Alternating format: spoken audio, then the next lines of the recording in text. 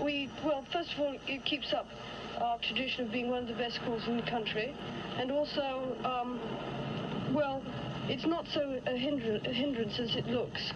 And uh, I think it should be kept up, definitely. Do you agree with the decision? Yes, I think it should be kept up Why?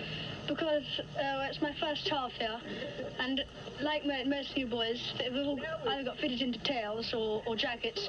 They pay quite a lot of money for it, and if they're um, if we didn't have um, any more jackets or tails, I mean, we waste a lot of money. Do you agree with Yes, I, I agree, because pe- people come to see you because you're wearing tails. You know.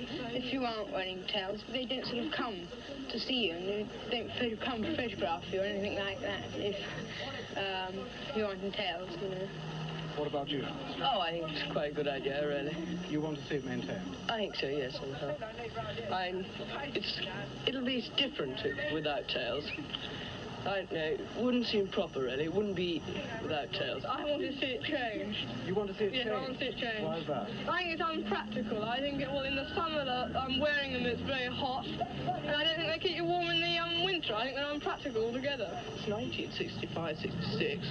So take it away. I mean, who wants? I mean, we look at stupid enough. So get rid of it, I think. I mean, who wants to stick out a mile?